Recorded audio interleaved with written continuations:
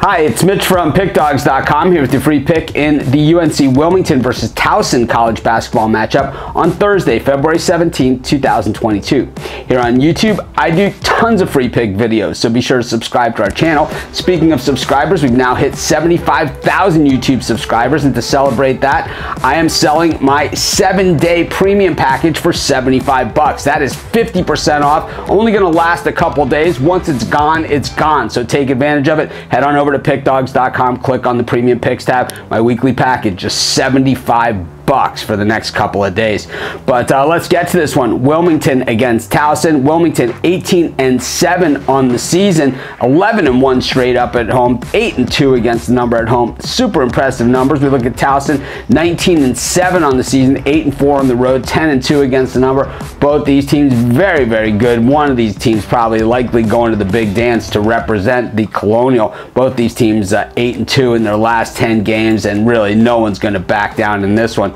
We saw Wilmington really be on a heater for a good portion of the time there. Ended up losing uh, to Elon, of all teams, 78-65. They were only favored by one point in that one, so it looked a little funny as far as the line went. And then their other loss was against Hofstra. They were getting six in that one on the road at Hofstra. And uh, and covered the spread in that one, but did not win the game.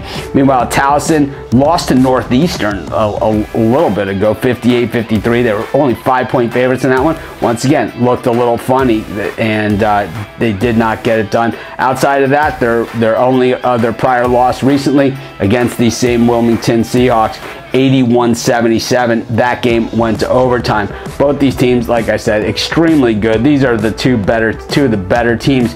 And I think, you know, these teams get into the dance. I think they're teams that nobody wants to be facing on the other side of things. But I do think that Towson is a little better offensively, and I think they're better defensively. I think they're a better team, and that's why they're favored here to get revenge. They are 7 and 1 against the number in their last eight on the road against a team with a winning home record, while Wilmington 14 and 2 against the number in their last 16 games, 7 and 1 against the number in their last 8 at home.